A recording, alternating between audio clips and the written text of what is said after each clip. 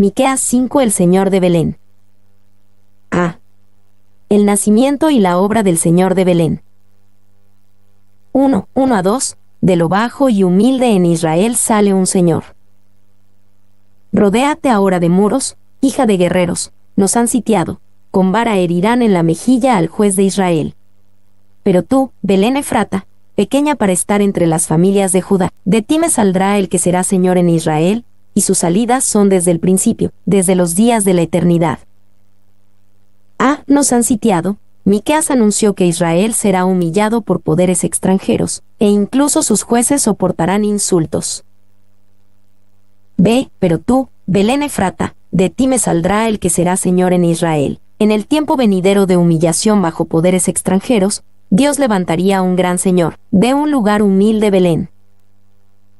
Y Belén era bien conocida como la ciudad natal de David, el rey más grande de Israel. Sin embargo, nunca fue una ciudad grande o influyente.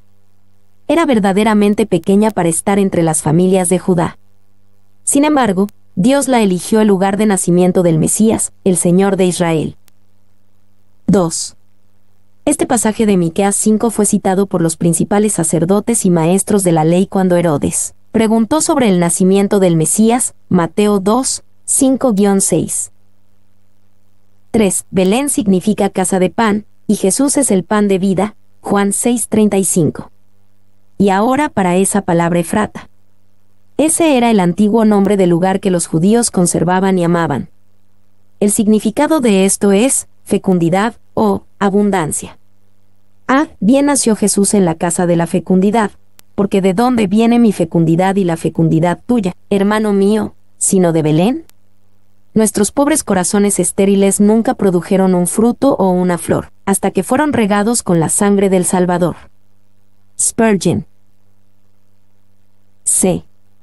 Sus salidas son desde el principio, desde los días de la eternidad. Esta gloriosa promesa fue cumplida en Jesucristo, y la voz profética de Miqueas declaró que aunque Jesús vino de Belén, no comenzó allí. Sus salidas son desde la eternidad pasada.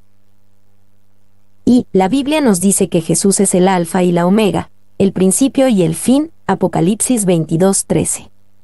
Esto significa que desde el principio, Jesús estuvo allí. Nunca hubo un tiempo en que Jesús no existiera.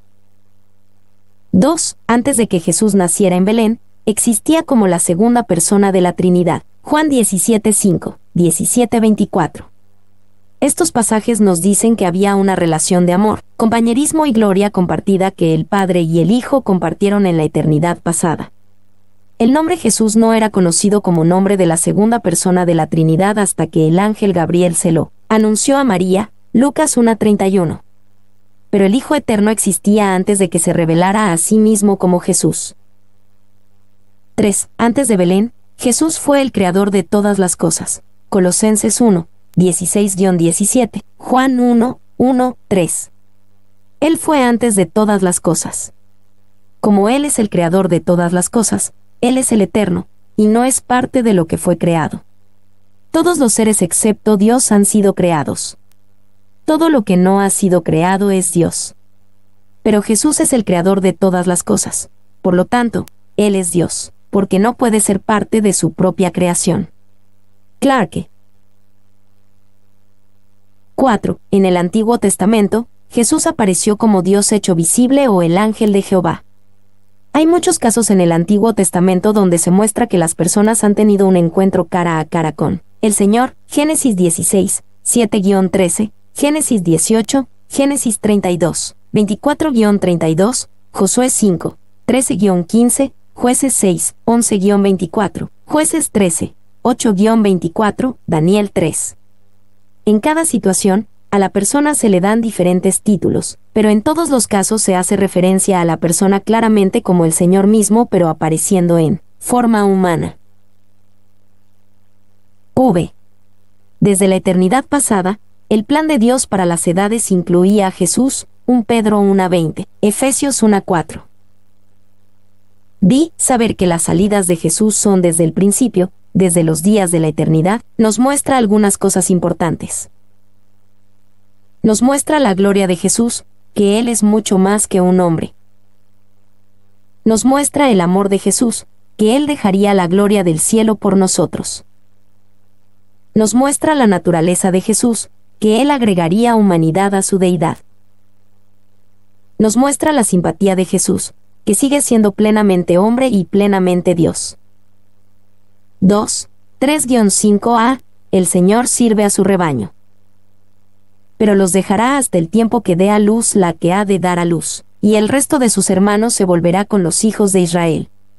Y él estará, y apacentará con poder de Jehová, con grandeza del nombre de Jehová su Dios, y morarán seguros, porque ahora será engrandecido hasta los fines de la tierra.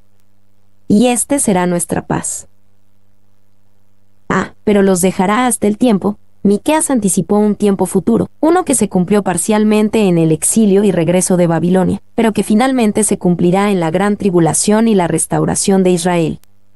En ambas eras, cuando el Señor parecerá distante de Israel hasta que el tiempo de la restauración esté listo. B. El resto de sus hermanos se volverá, él estará, y apacentará con poder de Jehová. Después del tiempo de la prueba de Israel, Jehová restaurará gloriosamente. El Señor nacido en Belén cuidará tiernamente de su rebaño con poder de Jehová. C.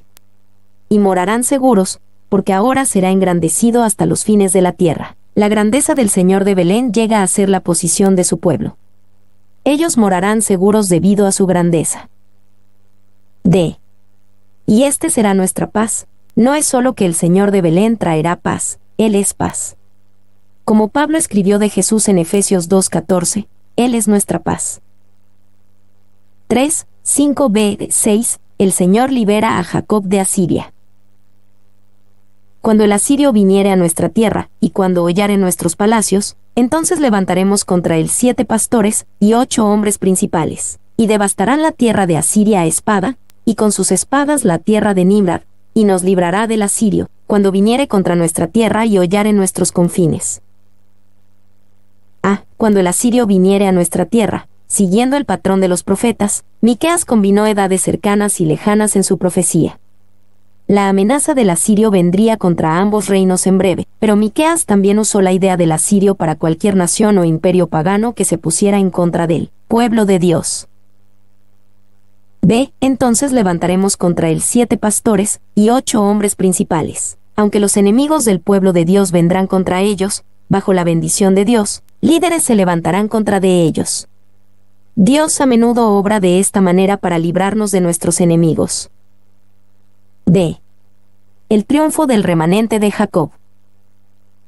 1. 7 a 9. El remanente es grande y triunfante. El remanente de Jacob será en medio de muchos pueblos como el rocío de Jehová, como las lluvias sobre la hierba, las cuales no esperan a varón, ni aguardan a hijos de hombres. Asimismo, el remanente de Jacob será entre las naciones, en medio de muchos pueblos, como el león entre las bestias de la selva, como el cachorro del león entre las manadas de las ovejas, el cual si pasare, y hollare, y arrebatare, no hay quien escape. Tu mano se alzará sobre tus enemigos, y todos tus adversarios serán destruidos. Ah, el remanente de Jacob será, como el rocío de Jehová, cuando Dios libere a Sión, no será una liberación pequeña se extenderá tan ancho como el rocío y como las lluvias sobre la hierba. B. Como el cachorro de león entre las manadas de las ovejas. Cuando Dios libere a Sión, no será una liberación débil. Fortalecerá a Israel para que triunfe sobre sus enemigos como el león contra las ovejas.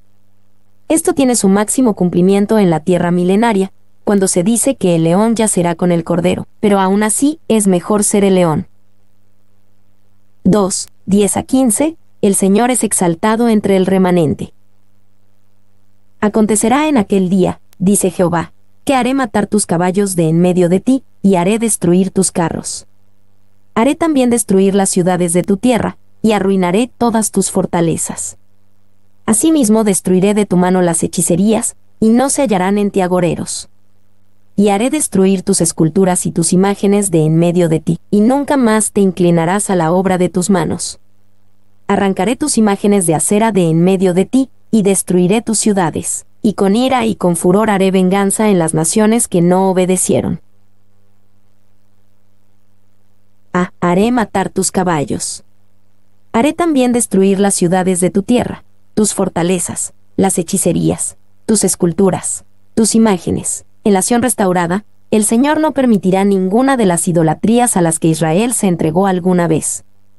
En cambio, Él cortará todas esas cosas, ya sean esencialmente buenas, caballos o ciudades, o intrínsecamente inicuas, hechicerías, imágenes.